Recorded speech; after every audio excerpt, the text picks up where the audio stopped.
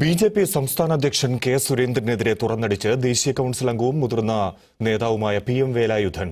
തന്നെയും K P ശ്രീശനെയും സംസ്ഥാന ഉപാധ്യക്ഷനാക്കാമെന്ന വാക്ക് സുരേന്ദ്രൻ പാലിച്ചില്ലെന്നും പരാതി അറിയിക്കാൻ വിളിച്ചപ്പോൾ ഫോൺ എടുത്തില്ലെന്നും പി എം വേലായുധൻ പറഞ്ഞു.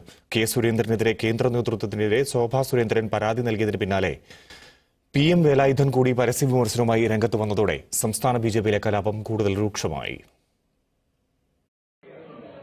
സംസ്ഥാന ബി ജെ പിയിൽ മുൻപെങ്ങുമില്ലാത്ത വിധം അഭിപ്രായ ഭിന്നത അതിരൂക്ഷമാവുകയാണ്.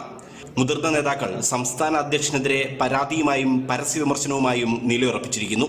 തന്നെയും കെ പി ശ്രീശനെയും സംസ്ഥാന ഉപാധ്യക്ഷ സ്ഥാനത്ത് നിലനിർത്താമെന്ന് കെ സുരേന്ദ്രൻ വാക്കു പറഞ്ഞിരുന്നുവെന്നും എന്നാൽ അത് പാലിച്ചില്ലെന്നും മുതിർന്ന നേതാവ് പി എം വേലായുധൻ തുറന്നടിച്ചു. കഴിഞ്ഞ എട്ടു മാസമായി പാർട്ടി പരിപാടികളിൽ പങ്കെടുപ്പിക്കാതെ തന്നെ അവഗണിക്കുകയാണ്. ഇന്നിരിക്കുന്ന രണ്ട് സംഘടനാ സെക്രട്ടറിമാരും എന്റെ ഈ വീട്ടിൽ വന്ന് പോയിട്ടുള്ളവരാ.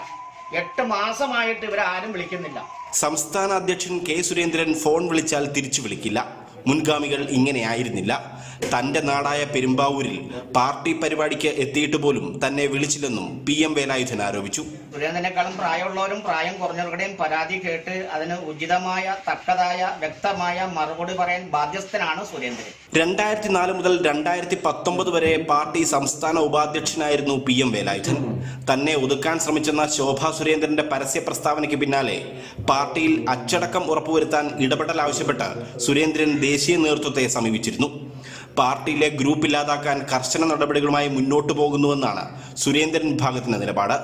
എന്നാൽ B L Santhosh V Muraleedharan K Surendran ത്രയം പാർട്ടിയിലെ മറ്റ് നേതാക്കളെ വെട്ടിയൊതുക്കുന്നുവെന്നാണ് മറുഭാഗത്തിന്റെ ആരോപണം. മനോരമ ന്യൂസ് കൊച്ചി.